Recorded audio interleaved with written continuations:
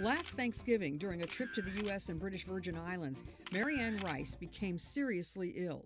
I spent the whole day lying down and I started getting this incredible burning and itching in my earlobes. Marianne thought it was food poisoning or the flu until her symptoms dragged on for months.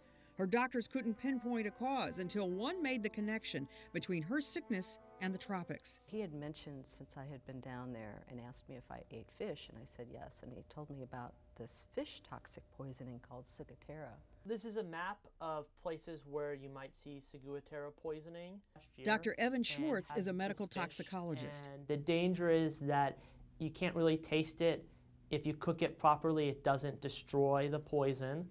Experts say you should avoid eating large fish like eel, swordfish, red snapper, sea bass, and barracuda. Treatment is an IV drip of a medication called mannitol. But within the first few seconds of those drops coming through, um, it was like a cool wash in my brain just moving down like this.